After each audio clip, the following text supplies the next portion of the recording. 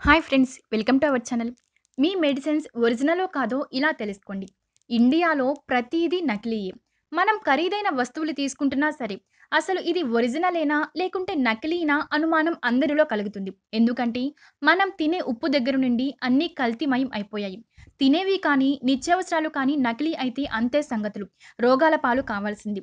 ఇక మనం వేసుకునే మందుల సంగతి అయితే అస్సలు చెప్పనక్కర్లేదు. డాక్టర్ మెడిసిన్స్ రాసిస్తాడు. మనం మెడికల్ స్టోర్లో కొంటుంటాం. కానీ ఏది ఒరిజినలో ఏది ఫేకో తెలుసుకోవడం చాలా కష్టం. ఎందుకంటే ప్యాకింగ్ అనేది సాలిడ్గా ఉంటుంది. కానీ ప్రజల హెల్త్ విషయంలో పాకిస్తాన్ చాలా ముందడుగు వేసింది.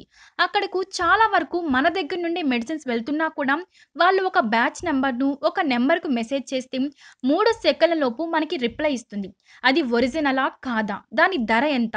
ఎప్పుడు ఎక్స్పైరీ అవుతుందనే మెసేజ్ అనేది వస్తుంది. దీంతో పాకిస్తాన్ జనాలకి నకిలీ మెడిసిన్స్ గోల అనేది పోయింది. కానీ మనం మెడిసిన్స్ తయారీలో విప్లవం సృష్టిస్తూ ఉంటాం కానీ జనాలకు మేలు చేయడంలో కంపెనీలతో పాటు సర్కార్లు కూడా నిర్లక్ష్యం వహిస్తున్నాయి. ఎందుకంటే ఇండియాలో అమ్ముడవుతున్న మందుల్లో ఇరవై ఐదు శాతం నకిలీవే అని ప్రపంచ ఆరోగ్య సంస్థ ప్రకటించింది. దాదాపు ఏటా పదహారు వేల కోట్ల నకిలీ మందులు అమ్ముడవుతున్నాయనేది ఒక అంచనా.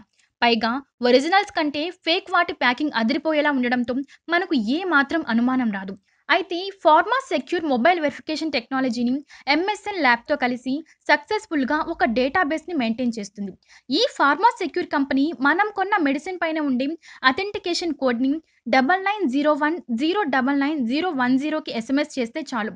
వెంటనే దాని అథెంటికేషన్తో పాటు బ్యాచ్ నెంబర్ కూడా మనకి క్లియర్గా రిప్లై చేస్తుంది. దాని వివరాలు వచ్చాయంటే ఒరిజినల్ అని అర్థం. అయితే చాలా కంపెనీలు ఈ ఇన్ఫర్మేషన్ని పంచుకునేందుకు ముందుకు వచ్చాయి.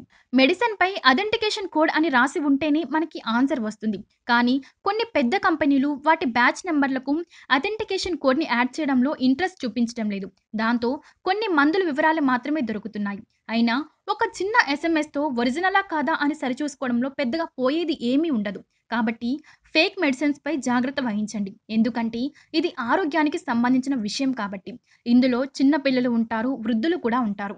ఇప్పటికైనా సర్కార్ ఒక విధానం తీసుకువచ్చి ప్రజలకు ఈ నకిలీ మందుల గొడవని తీర్చాలి. ఎన్నో ఏళ్ళ నుండి పాకిస్తాన్ లాంటి పద్ధతిని తెస్తామని చెప్తున్నారే కానీ ఇంతవరకు అమలు చేయలేదు. కాబట్టి ఉన్నంతలో అందుబాటులో ఉన్న సదుపాయం వాడుకోవడంలో ఎలాంటి తప్పు లేదు. ఈ రోజుల్లో ఫోన్ అందరికీ ఉంటుంది. మెసేజ్ సర్వీసులు కూడా చాలా వరకు ఉచితంగానే లభిస్తున్నాయి. ఈ వీడియోపై మీ అభిప్రాయాన్ని తెలియజేయండి ఈ వీడియో కనుక మీకు నచ్చినట్లయితే లైక్ చేయండి షేర్ చేయండి. ఇలాంటి మరిన్ని హెల్త్ టిప్స్ కోసం మా ఛానల్ సబ్స్క్రైబ్ చేయండి.